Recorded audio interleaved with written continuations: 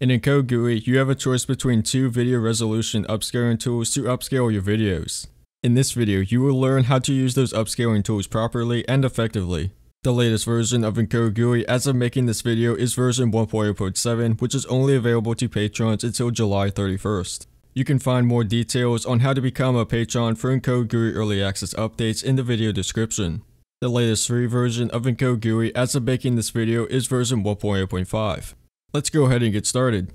If you haven't done so already, I highly suggest that you watch the introduction video of Encode GUI and also watch the video guide to video, audio, and subtitle encoding as the content in those videos will be needed to be learned before attempting the steps in this guide. Once you have watched those videos, you'll be ready to continue further.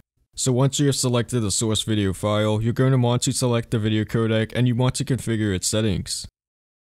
Afterwards, head over to the Upscaling tab under the VapourSynth tab in the Video tab.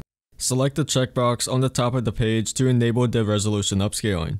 The first option you want to set is the tool and this selection will largely depend on the amount of upscaling you want.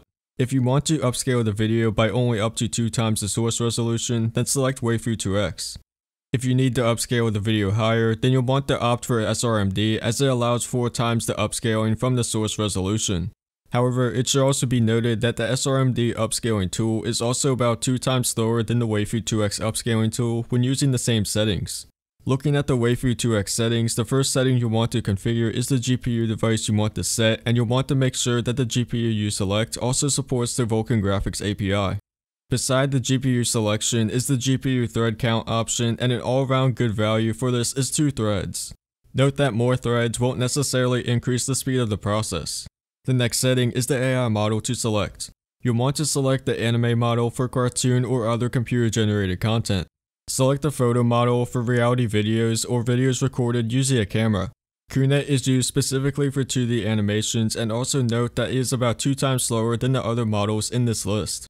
There is also a denoise only option which allows you to denoise the video. The next option is the noise reduction level and you want to set this to medium for most videos. However, if your video has noticeable noise, then you'll want to select a higher value. Next is to set the color precision and you'll want to leave this on FP32 for the highest quality upscale. For faster upscaling, you could set this to FP16 but there could be a noticeable loss of colors. Lastly is to set the output resolution and like mentioned earlier, this could be anywhere between 1 times and 2 times the source resolution. The maximum output resolution is set by default, Beside is the option to auto adjust part of the resolution so that your video can maintain the same aspect ratio. You can override this feature by deselecting the checkbox shown. Now we'll be taking a look at the SRMD resolution upscaling tool. You'll want to use this tool if you need up to 4 times the upscaling from the source resolution. The first option to configure here once again is the GPU and the GPU threads.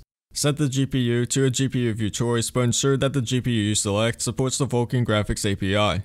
You want to set the threads to 2 and keep in mind that more threads isn't going to make the process faster. Next is setting the noise reduction and you'll want to set this to 3 or 4 for videos with no visible noise. If your video does have noticeable noise then you'll want to consider setting this to 5 or higher. The next option is setting the TTA which allows a higher quality upscale but will make the process significantly slower. Lastly is to set the output resolution and the same rules are going to apply here as seen in the Waifu 2x section of this guide. The output resolution is set to the maximum by default.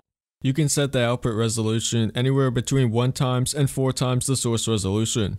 If you want to manually assign the resolution to both the height and the width, then you can deselect the checkbox beside and then the auto adjust will be disabled. With that being said, this concludes everything regarding the upscaling and denoising functions in Encode GUI. I hope you find everything in this video useful for your needs and if you need to find out more information, you could do so by visiting the Encode GUI documentation linked in the video description below. Please also consider becoming a patron for Encode GUI so that you can get early access to updates, priority support, and also a dedicated role in this channel's Discord server. Be sure to also like and subscribe to the channel so that you won't miss the next new video for Encode GUI. Regardless, thank you everyone for your support and I'll see you all next time.